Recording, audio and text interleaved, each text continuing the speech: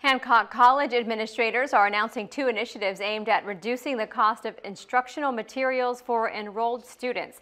The college announced the purchase of $40,000 in new textbooks. They'll be kept in the college libraries for students to access.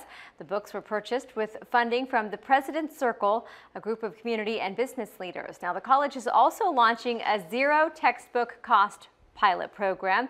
It'll allow students to complete courses for three Associate for Transfer degrees without purchasing a single textbook. If you're a full-time student, you're taking like possibly uh, four, four to five courses, and so now you have one class out of the way, we have three more, and sometimes one of those classes require more than three or four textbooks. A recent survey of Hancock College students showed that 61% spent at least $200 per semester on textbooks.